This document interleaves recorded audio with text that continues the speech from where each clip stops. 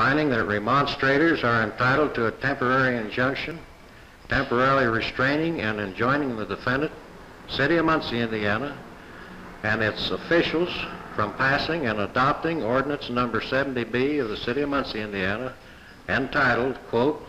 an ordinance repealing ordinance number 1731 and number 1797,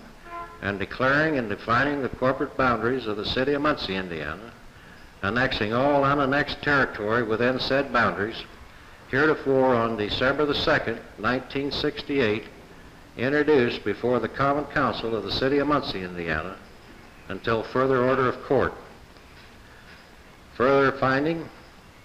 that the remonstrators herein shall enter into a written undertaking with surety in the sum of $5,000 to be approved by court to pay any and all damages and costs occasioned or caused the defendant, City of Muncie, Indiana.